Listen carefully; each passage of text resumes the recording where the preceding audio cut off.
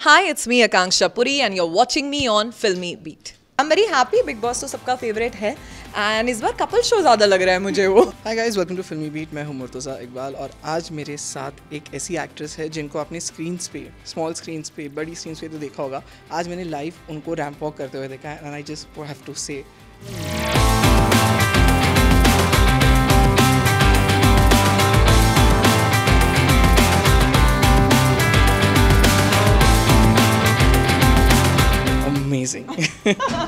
Akansha, you're looking stunning. Thank you. What a confident and amazing ramp walk. Thank you, thank you. I love it. Like जब भी fashion से related कुछ होता है, you know, I get too excited. This is something that I always. Uh, people think I've been a model. I've Yeah. never been a model. I've always been just an actor. But I love fashion, and you know, fashion is something I feel I can express myself. So I always like to express myself, and I'm glad that I was associated with a designer who understood me and who I could relate to.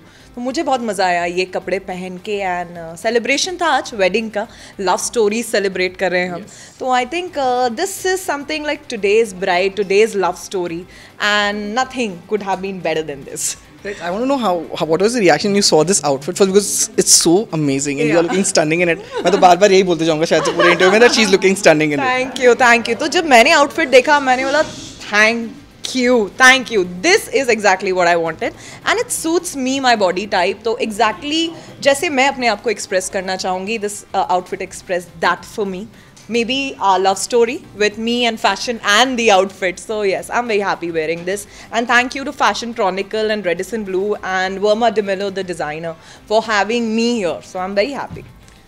Know, of course, I would like to know कि हमने ramp पे तो आपको देख लिया है। Let me ask you about this big screen पे हम आपको जल्दी वापस कर देंगे। I have been waiting for it and जैसे आपने कहा ना कि लोग आपको यही समझते कि पहले मॉडल थे maybe because calendar girl was the first film first Hindi film मैं तीन तमिल तीन मलयालम एक कन्नड़ा सात मूवीज़ करके एक is a pan India star. That's what she wants to say. And लोगों ने इतने सालों तक चार साल तक ऑलमोस्ट मुझे देवी पार्वती के रूप में. देखा है। तो ये काफ़ी कॉन्ट्रोडिक्टिंग हो जाता है but that's how I am and नया शो ऑलरेडी साइन भी कर दिया है शूट भी स्टार्ट हो गया है।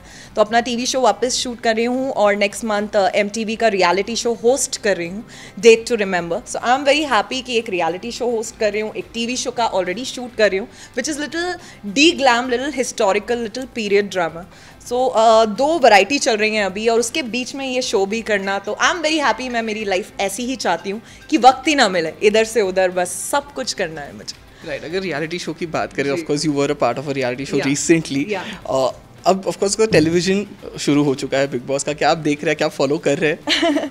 I am not following right now क्योंकि मैंने आपको बताया मेरे दो लाइक like, एक शो अभी चल रहा है दूसरा भी स्टार्ट होने वाला है तो इतना वक्त नहीं मिल रहा। बट uh, जैसा आप लोग डालते रहते हैं सोशल मीडिया में उतना मैं भी फॉलो करती रहती हूँ and I am very happy Bigg Boss तो सबका फेवरेट है। एंड इस बार कपल शो ज़्यादा लग रहा है मुझे वो। तो yeah I don't know no comments because मैंने ज़्यादा देखा नहीं है। Right so Akanksha all the best for future projects and again I am ending this interview by saying that you are looking stunning in this really ना amazing मुझे झूठ बोलना नहीं आता। सी आई थिंक डिंपल वाले लोग झूठ नहीं बोलते। तो ये ये बोल के इन्होंने छक्का मार दिया। Thank you thank you thank you so much Akanksha and all the best thank you so much